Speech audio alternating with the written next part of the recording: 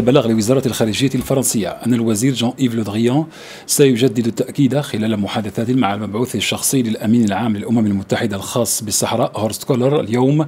سيجدد التأكيد على أن المقترح المغربي للحكم الذاتي يشكل قاعدة جدية وذات مصداقية لإيجاد حل للنزاع حول الصحراء. ويضيف البلاغ أن الوزير الفرنسي سيجدد أيضا في اللقاء مع كولر تشبث فرنسا بالاحترام التام لاتفاقية وقف إطلاق النار ودعمها لإيجاد حل عادل دائم ومقبول لدى كافة الأطراف طبقا لتوصية مجلس الأمن الدولي.